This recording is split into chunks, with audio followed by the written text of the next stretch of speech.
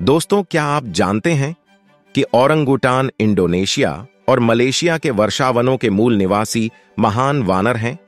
अब वे केवल बोर्नियो और सुमात्रा के कुछ हिस्सों में पाए जाते हैं, लेकिन प्लेस्टोसिन के दौरान वे पूरे दक्षिण पूर्व एशिया और दक्षिण चीन में पाए जाते थे। जीन्स पोंगो में वर्गीकृत ओनरंगुटान को मूल रूप से एक प्रजाति माना जाता था। महान वानरों में सबसे वृक्षवासी ओरंगुटान अपना अधिकांश समय पेड़ों पर बिताते हैं। उनके पास आनुपातिक रूप से लंबी भुजाएँ और छोटे पैर हैं और उनके शरीर पर लाल भूरे रंग के बाल हैं।